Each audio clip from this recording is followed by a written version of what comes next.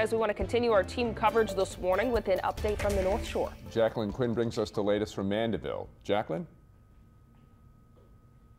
Yeah, we're checking conditions right now to see how it's affecting people and property. And so we here are on Lakeshore Drive, and if you take a look outside, it's uh, a little rough right now. I was using our weather instrument earlier. It was about 10 miles per hour. Some of the uh, water is still going over that seawall. You see some of that white capping over there. Uh, but this water primarily is from yesterday, uh, from that storm surge. It has gone down significantly, although you still see, uh, look at some of the water lines around here. You know, you see what appears to be uh, the, um, the algae, or excuse me, not the algae, but uh, you know, some of the plant that has uh, come from the lake here. So this looks like it was the water line out here, and then you can see how low it has uh, come here. But even on this home here, you can see the water line uh, out towards the wall out here.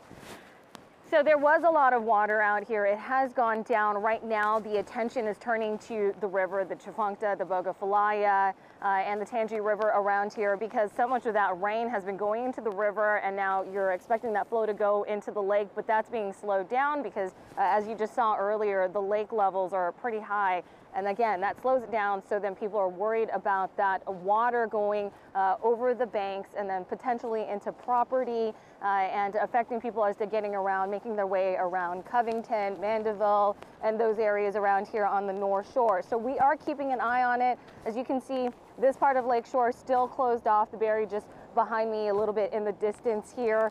Uh, but we are going to be monitoring the situation and checking in with officials. They're going to be giving us updates as to how much they expect the water to go up and continue to go up.